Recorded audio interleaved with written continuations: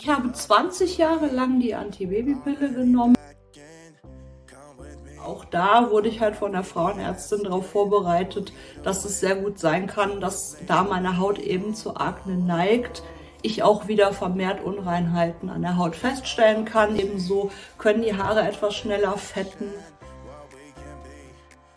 Es ist halt grundsätzlich so, dass man ab dem 35. Lebensjahr als Risikoschwangere eingestuft wird.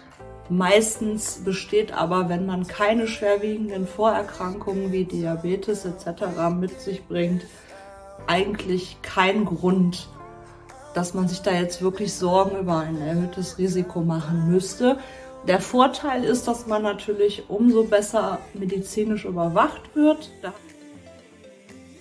Ich habe jetzt hier für euch eine kleine Step-by-Step-Anleitung, wie ihr die Pille sicher absetzen könnt und euren Kinderwunsch wahr werden lassen könnt.